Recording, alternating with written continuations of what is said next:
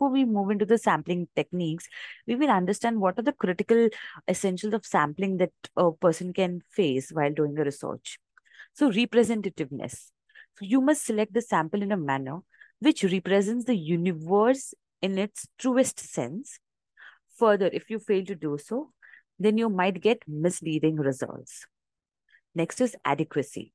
You should also select the size of sample adequately, which represents the parametric characteristics of the population. Independence. When you select a sample, you must ensure that you select the samples independently and also randomly. So this will give you a better result. Homogeneity. This is another important element of a sample investigation. Homogeneity means that there is no basic difference in the nature of units in the sample and the universe. So what are these, what we have studies, we understood they are the demerits where we can, it is the critical essential of sampling method. So we have already seen the merits which helped us uh, save our time we are reliable more. So when I say uh, they are reliable, usually the data collected under a sample investigation is reliable because of the use of well-trained and experienced investigators or experts. It also provides us detailed information since sampling is cost efficient and also time efficient. You can collect detailed information about the sample in your survey. It helps you collect richer data and a very fine data sometimes the goal of the research is to collect a little bit of data from a lot of people. For example, an opinion poll.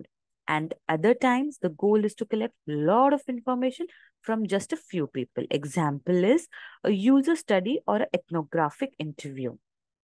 So either way, samplings allow researcher to ask participants more questions and to gather richer data than does contacting everyone in the population. So the importance of knowing where to sample is important.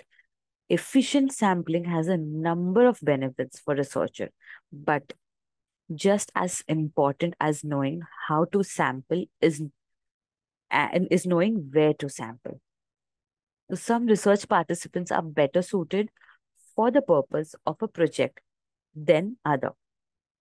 Finding participants that are fit for the purpose of a project is crucial.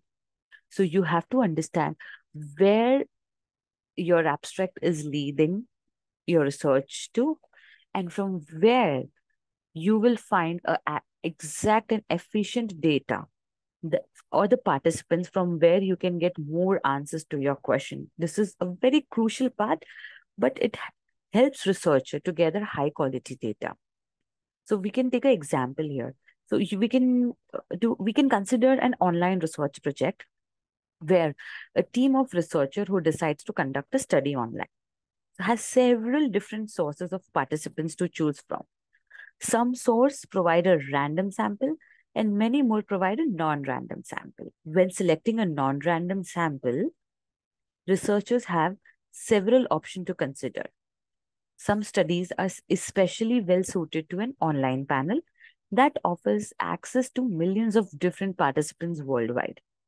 Other studies, meanwhile, are better suited to crowdsourced site that generally has fewer participants overall, but more flexibility for fostering participants' engagement. So this is how you can conduct research for your respective topics.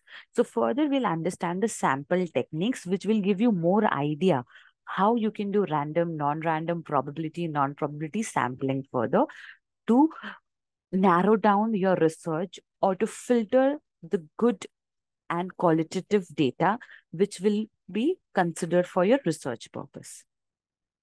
What is sampling technique?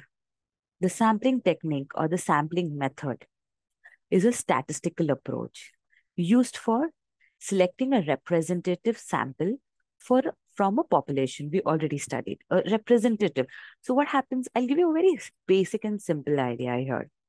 So if I go and teach in the class of probably 160 and they they have a different divisions called A, B, C, D, E. So each division has 160 participants. What do you think? 160 participant, will I be able to remember all this 360 or 460 participant's name, that's way difficult. So when marking an attendance, so my my year when I attend when I go and deliver the lecture for me, it is also important to mark attendance of the Sparta students. So what happened? We select certain representative of each class. So that could be called as class representative or a class co course coordinator or XYZ. There are different names that we give to the representative. What this representative does? So the representatives, because it is very difficult for every individual, a 160 student uh, batch, which which is A division and another B, C and D. So we have around 400 or 460 in total of for one course. So it is very difficult for those 460 students to come and meet me and approach for their problems. So every class has their own representative from where they can go and approach them easily and that representative come to me and share the problems or the issues or also mark their attendance very easily. So what happens here?